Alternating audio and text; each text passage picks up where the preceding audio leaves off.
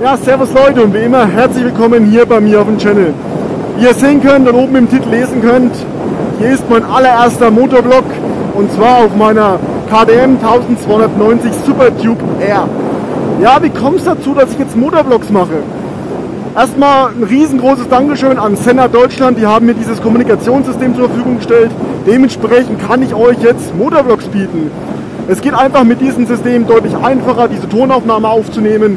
Daher kommt jetzt ein Motorvlog. Ich habe leider schon online bzw. über Instagram recht viel negative Kommentare bekommen. Nein, mach bitte keine Motorvlogs, nicht du auch noch. Jungs und Mädels, ihr müsst keine Angst haben, dass mein YouTube-Channel jetzt irgendwie verblödet, weil ich irgendwelche sinnlosen Motorvlogs online bringen werde. Ich versuche das alles seriös ablaufen zu lassen. Ja, was habe ich denn überhaupt vor? Ich dachte mir, Motorvlogs baue ich etwas anders auf wie andere, beziehungsweise ich versuche es wirklich zu meinem Channel anzupassen. Ich werde jetzt hier nicht irgendwie sinnlos durch die Stadt fahren und irgendwelche Frauen ansprechen und auf diese Reaktionen warten und hoffen, dass diese Videos Klicks bieten ohne Ende. Ich versuche wirklich Videos zu bieten, die euch interessieren und vor allem, die zu meinem Channel passen. Ja, was habe ich so alles gedacht, was ich bringen könnte? Das erste, was wirklich interessant ist und worauf ich selber extrem viel Lust habe, sind einfach Probefahrvideos von verschiedenen Motorrädern, verschiedene Hersteller und auf jeden Fall Motorräder, die euch interessieren. Als wenn ihr irgendwelche Interessen habt an Motorrädern, schreibt es mal hier in die Kommentarliste ich denke mal, da kann man auf jeden Fall in Zukunft ein paar Händler ansteuern, die mal ein Motorrad rausrücken für eine etwas längere Probefahrt. Ich habe jetzt auch schon aktuell einen Händler im Petto. Das ist der Motorradhändler aus Würzburg, HMF Motorräder. Die haben Yamaha, KDM und so. Ich denke mal, da werde ich in naher Zukunft ein paar Motorräder Probe fahren und einfach mein Feedback zu diesen Motorrädern bringen, beziehungsweise meine Eindrücke. Wo ich mich auch tierisch drauf freue, sind so Vergleichsvideos. Ich habe jetzt aktuell eine etwas ältere Supertube kann man sagen. Es gibt ja mittlerweile die Nachfolger, die hat den Quickshifter, die hat Kurven-ABS, die hat die einstellbare Traktionskontrolle. Das hat leider alles dieses Motorrad nicht. Dementsprechend freue ich mich natürlich, so ein paar Unterschiede kennenzulernen. Und gerade das ist doch interessant in einem Motorvlog, ja, zumindest zu erfahren. Deswegen hier geht es nicht irgendwie darum, dass ich irgendeinen Stuss film. Ich möchte wirklich interessantes Videomaterial bieten. Dementsprechend stellt sich natürlich die Frage, was kann ich euch noch anbieten? Ich habe mir so gedacht, weil jetzt schon öfters gefragt wurde, wie kann ich mir denn so eine Supertube leisten? Ich kann ja mal ein Video dazu bringen, was überhaupt die Unterhaltungskosten von diesem Motorrad sind. Und am besten sogar im Vergleich zu einer 690. Denn ich bin ja selber mal eine SMTR gefahren und da kann ich eigentlich euch sehr gut den Kostenvergleich darstellen, was dieses Motorrad kostet im Vergleich zu einer 690 SMTR. Wenn ihr wirklich irgendwelche Themen habt, die euch interessieren, die wirklich für einen Motorblock angemessen sind, schreibt es einfach in die Kommentarliste. Ich werde versuchen, hierzu einen Motorblock zu bringen und es muss natürlich nicht irgendein Scheiß sein, das muss wirklich zu meinem Channel passen. Also bitte kommt jetzt nicht hier, ich soll irgendeinen Vlog machen, wie ich über die Landstraße mit 200 Kachel. Das wird nicht kommen. Es kann gerne mal ein Motorblock kommen und zwar, wenn ich hier meine Supertube ausfahren werde auf der Autobahn. Ich bin sie erst ein einziges Mal ausgefahren und ja, es ist wirklich grenzwertig, aber dazu kann ich auch mal gerne einen Motorblock machen. Deswegen Ihr braucht wirklich keinerlei Angst zu haben, dass hier jetzt mein Channel irgendwie verdummt in irgendeiner Art und Weise. Ich versuche das wirklich alles seriös zu halten und vor allem angepasst. Ich möchte auf jeden Fall dieses System, was ich gerade montiert habe, auch mal auf der Rennstrecke ausprobieren und mitnehmen. Ich weiß zwar persönlich nicht, ob ich in der Lage bin, ein Rennen zu fahren und gleichzeitig mit euch zu reden. Das sind einfach konzentrationsmäßig zwei verschiedene Punkte, ob ich die zusammenbekomme, ist so eine Sache. Ja, wo sind wir heute eigentlich hier?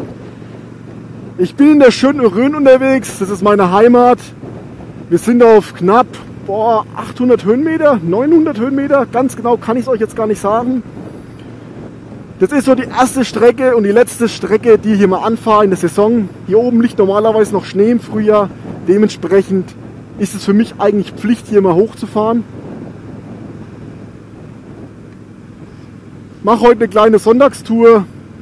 Deswegen dachte ich mir, das kommt es eigentlich angemessen, euch mal mitzunehmen. Bitte entschuldigt in irgendeiner Art und Weise, wenn das Mikrofon noch ein bisschen kratzt, wenn die Bildaufnahmen nicht passen, wenn der Winkel nicht passt. Das ist wirklich mein erster Motorvlog. Ich habe es vorher nicht geübt. Ich bin gespannt, was rauskommt. Dementsprechend seid bitte nachsichtig. Ja, aber ich würde mal fast schon wieder sagen, das war es ja auch mit dem Video. Ich möchte es wirklich kurz halten. Jetzt in naher Zukunft kommen auf jeden Fall Probefahrvideos mit verschiedenen Motorrädern. Ich habe das mit den Einhändler schon ausgemacht. Da kann jetzt in naher Zukunft was stattfinden. Ebenfalls ist schon etwas im Winter geplant. Hierzu hoffe ich, es kann stattfinden. Und zwar werden diese Pitbikes ja immer größer und immer interessanter. Ich habe einen Kollegen von mir, der vertreibt diese Pitbikes und er hat doch mal gemeint, wie sieht es aus? Hast du im Winter irgendwie Bock da drauf, ein Video zu machen, wie du mit einem Pitbike von mir fährst? Und wir sind in der Halle, die wir extra anmieten. Dementsprechend wird es wahrscheinlich im Winter auch nicht langweilig. Ich werde im Winter auch so ein paar Vlogs bringen. Ich hoffe natürlich, das klappt alles. Ich bin Saisonfahrer, dementsprechend ist Ende Oktober auch hier mit meinem Motorrad Schluss. Dann werde ich kein Motorrad mehr auf der öffentlichen Straße fahren, sondern nur noch Rennstrecke.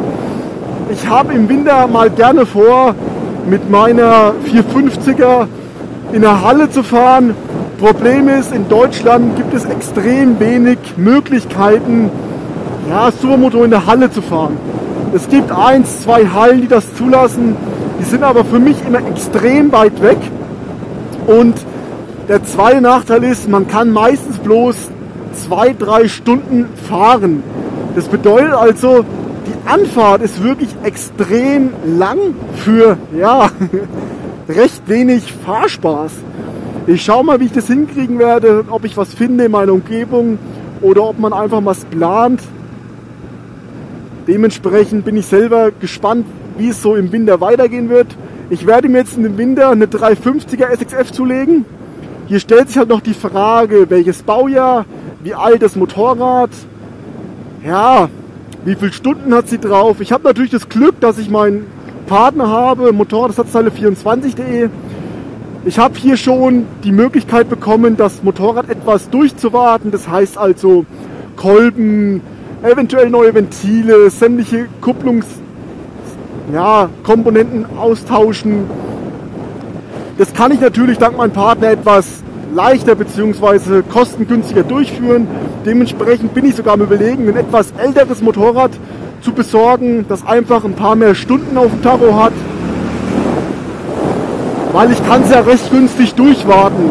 Den kleinen Vorteil für euch ist natürlich wieder, ich kann Videos bieten. Ich habe nämlich im Winter vor, meine Supermoto und im Endeffekt dann sogar die Crosser, die ich mir vielleicht zulegen werde. Es kommt halt immer noch darauf an, wie viele Stunden sie hat und welches Baujahr. Einmal komplett durchzuwarten. Hierzu kommen wieder Videos. Meine Supermoto möchte ich wieder komplett in Einzelteile zerlegen und möchte wirklich alles warten. Das heißt, die Lage anschauen, wie sie welchen Zustand sie sind, die Simmeringe alle austauschen, gerade an den Radlagern. Die sind nämlich mittlerweile schon recht stark kaputt. Also nicht die Radlager selber, sondern einfach die, die Simmeringe, die Dichtungen. Durch das viele Ein- und Ausbauen und den ganzen Schmutz sind diese Simmeringe etwas beschädigt. Die möchte ich erneuern. Hierzu folgen natürlich wieder Videos. Schrauberblock-Videos finde ich sehr interessant. Somit wird der Winter wirklich nicht langweilig. Ja.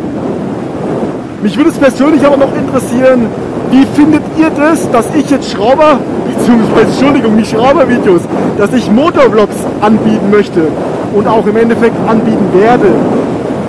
Ich wollte zwar nie auf diese Schiene gehen, ich finde es halt mittlerweile echt traurig, was die großen YouTuber in Anführungszeichen für Motorvlogs bringen.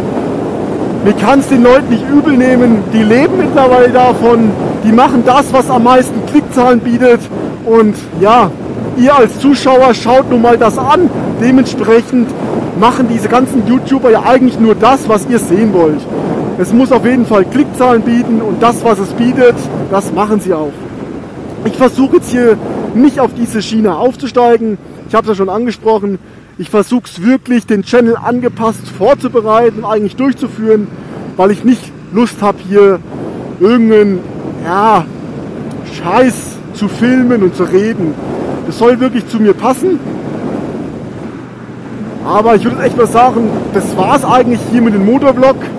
Wenn ihr irgendwelche Anregungen habt, Vorschläge, Kommentare, irgendetwas, schreibt es wirklich unten in die Kommentarliste. Ich lese jeden einzelnen Kommentar und freue mich auf jeden Fall euer, über euer Feedback. Ich bin jetzt hier gerade in Hausen, das ist eine alte Hausstrecke von mir. Ich würde mal sagen, ich beende hier mit dem Motorvlog. Ihr könnt aber noch das Bildmaterial genießen. Dementsprechend Servus und man sieht sich beim nächsten Motorvlog.